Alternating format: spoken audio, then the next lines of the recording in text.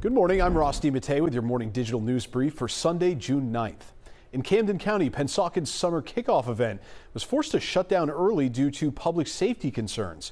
We're working to learn more details this morning. CBS News Philadelphia was there last night as police were clearing out the area right near the intersection of Bethel and Westfield Avenues. In a statement posted on social media, the township apologized for the inconvenience, adding that the safety of residents and the overall community comes first. This incident comes just one week after 12 people, including 10 teenagers, were arrested after multiple fights broke out at Gloucester Township Day's celebration.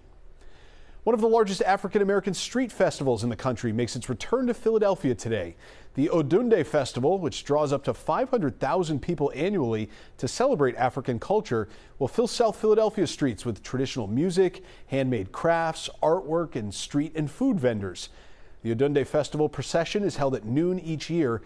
Guests meet up and walk to the Schuylkill to offer fruit and flowers to Oshun, the Yoruba goddess of the river. This year, the procession starts at 23rd and South Streets. And grab your helmet and get ready to ride. In partnership with the Bicycle Club of Philadelphia, the Bicycle Coalition of Greater Philadelphia will be hosting a bike party, and helmets are required. The group rolls off at noon today from Waterworks Drive. They will pedal up to Kelly Drive, across Falls Bridge, onto MLK Drive, and then come back. Now let's get a check of your next weather forecast. Here's meteorologist Tammy Souza. Hey, Tammy. Well, hey, Ross. We're going to start off with clouds today, but don't worry, we're going to see some sunshine. In between, we'll see a few isolated showers. I do mean isolated. You likely won't see anything where you are.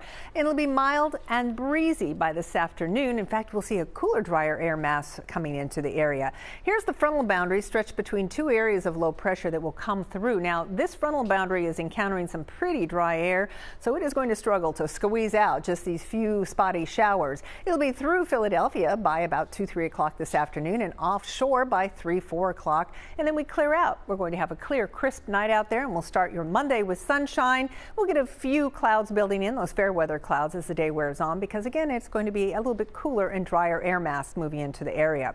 So we're dry for our Monday, Tuesday, Wednesday, Thursday. Could see a spotty shower south and east of the city early Tuesday morning, but other than that, we're fine until Friday night and into Saturday. That's the next best chance of showers and storms.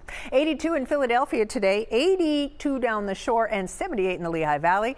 Low 60s and mid 50s across the area tonight under clear skies. And then we get into the middle of the week. Look at this 86 Wednesday and 90s arrive as early as Thursday. Ross? Tammy, thanks so much. Don't forget, you can always get the latest news and weather right here on CBSPhiladelphia.com. I'm Ross DeMattei. Enjoy the rest of your Sunday.